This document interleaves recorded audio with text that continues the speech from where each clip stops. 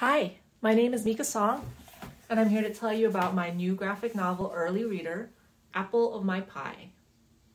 It's the follow-up to Don't Feed the Squirrels, and it comes out in June from Random House Graphic.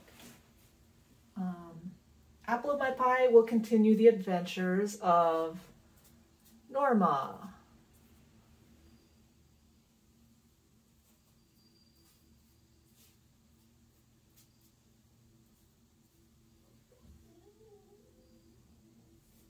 belly,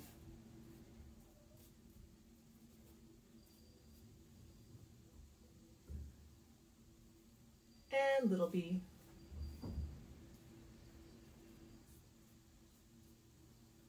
As they go on a rescue adventure to save their beloved Gramps, who's been whisked away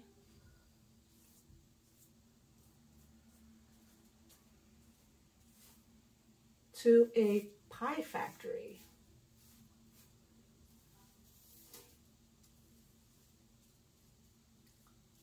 So they'll have to use teamwork and creative problem solving to bring their gramps back home safely. And in other exciting news, thanks to the hard work of Allison Hellegers and Stimola, don't Feed the Squirrels is going to be coming out in French.